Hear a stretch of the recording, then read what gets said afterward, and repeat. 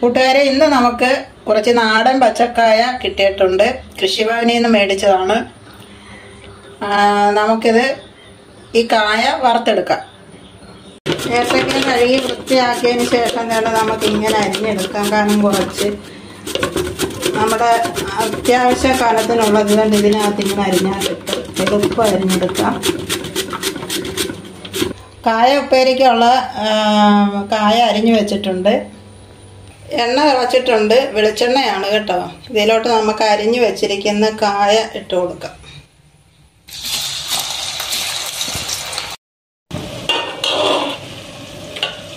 Chips പകുതി മൂപ്പായിട്ടുണ്ട്. ഇതിനകത്തോട്ട് നമുക്ക് ഉപ്പും മഞ്ഞൾപ്പൊടിയും കൂടെ കലക്കിയത് ഒഴിച്ചു കൊടുക്കാം.